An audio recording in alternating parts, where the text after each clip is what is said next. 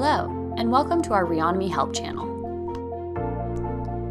In this video, you'll learn how to export information from Reonomy in order to build your own personal lead list.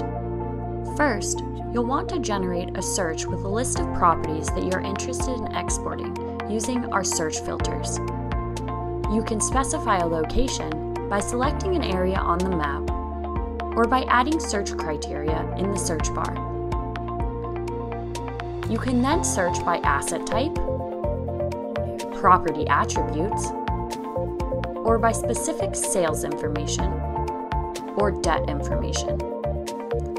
Once you have a set of criteria, hit Apply.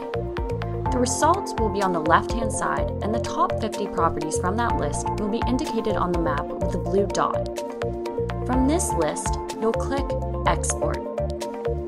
Here, you'll see the number of remaining export credits you have left. It's important to note that the export feature will be defaulted to get contact information and then to only export properties that have contact information. If you are not interested in any of these features, feel free to uncheck those checkboxes.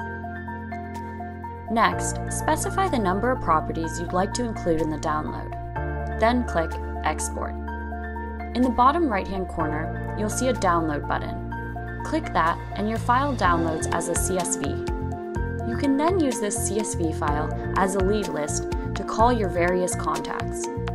You can also import this information into your own personal CRM to keep track of those leads.